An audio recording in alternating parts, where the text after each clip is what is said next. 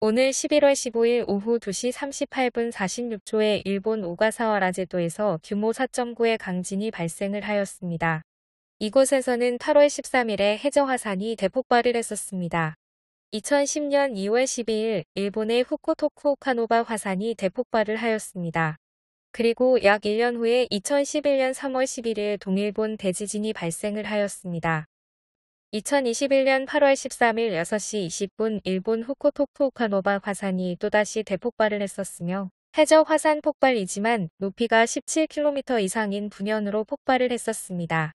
그것이 벌써 벌써 3개월이 되었는데 아직도 해저에서 활발한 화산 활동이 진행되고 있는 것 같습니다.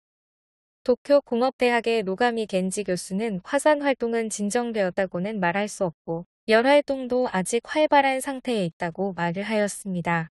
또한 호코토쿠카도바 해저 화산이 8월 13일 폭발 이후에 생긴 경석이 오키나와까지 표류를 하면서 해안을 뒤덮으면서 배가 고장나고 물고기들이 폐사하는 등 큰 피해를 입혔는데 해류를 타고 최근 도쿄 앞바다까지 올라왔습니다.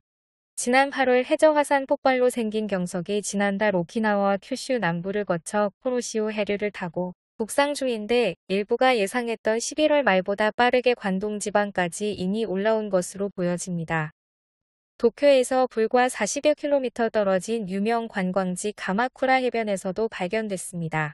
예상보다 일찍 도쿄 앞바다에서 경석이 발견되면서 섬 지역 항구에서는 방지막 설치에 나서는 등 피해 방지에 비상이 걸렸습니다.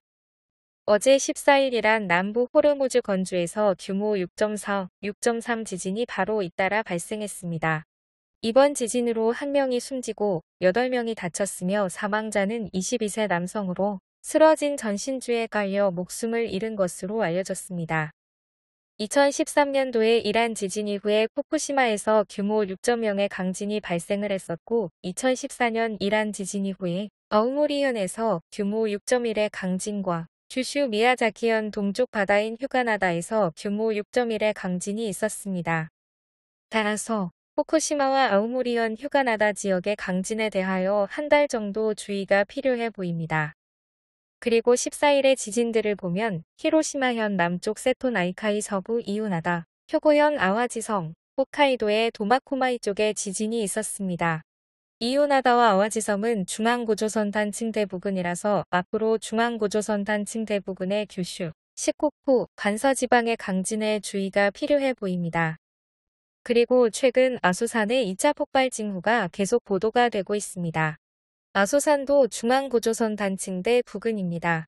아소산 폭발에도 주의가 필요해 보입니다. 그리고 대만에서 계속 강진들이 발생을 하고 있습니다. 오늘 바누아투에서도 4.8의 강진이 발생을 하였고 남인도양에서도 규모 6.0과 5.3의 강진이 발생을 하였습니다. 이란에서는 오늘도 계속 강진이 발생 중입니다. 11월 15일 오늘 하루만 규모 4에서 5일까지 7번의 지진이 이란에서 발생을 하였습니다. 이란 강진 이후에 일본 아오모리현과 후쿠시마현, 휴가나다에서 강진이 있었으므로 주의가 필요합니다.